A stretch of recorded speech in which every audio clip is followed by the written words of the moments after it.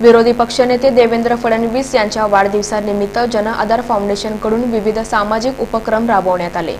विरोधी पक्षनेते देवेंद्र फडणवीस यांच्या वाढदिवसानिमित्त जनाधार फाउंडेशनचे संस्थापक आनंद गोस्की यांच्या पुढाकारातून प्रधानमंत्री जन आरोग्य योजनेअंतर्गत नोंदणी केलेल्या लाभार्थ्यांना गोल्डन कार्डचं वितरण करण्यात आलं.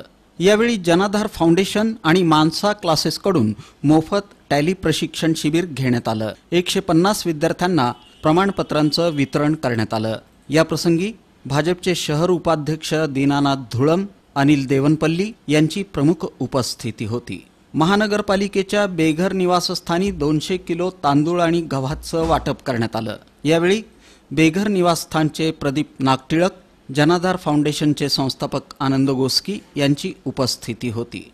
तसंच मतदार नोंदणी शिबिर आणि विणकर बागेत वृक्षारोपण करण्यात आलं. यावेळी महेश दासी आकाश बुर्ला माधव कोटा दिनेश सुरा लोकेश आंबट महेश शेमूल मल्लिकार्जुन बंडा शंकर महंता शुभम मिठ्ठा गणेश आंबट आदींची उपस्थिती होती.